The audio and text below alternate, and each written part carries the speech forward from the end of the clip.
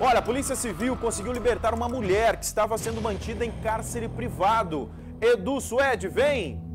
Civil prendeu hoje um homem de 43 anos pela prática de cárcere privado e lesão corporal doméstica. A prisão aconteceu no bairro Vila Jabura, em Ribas do Rio Pardo.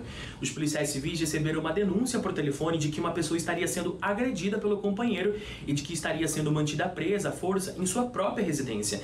A denúncia ainda informou que o autor estava usando uma faca que ameaçou matar a vítima. A equipe de, policiais se deslocou imediatamente até o local para verificar o caso e no endereço informaram, os investigadores contiveram autor e acolheram a vítima que relatou a convivência com o agressor.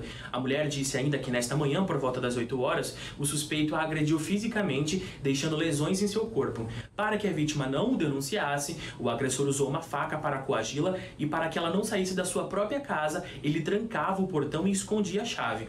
A chave do cadeado do portão da residência foi localizada dentro de uma máquina de lavar roupas, juntamente com um canivete de propriedade do próprio suspeito. Além disso, disso, a porta da cozinha tinha um furo que, segundo a vítima, foi feita pelo autor com a mesma faca como forma de intimidação. Diante dos fatos, o homem foi preso em flagrante e encaminhado para a delegacia da cidade.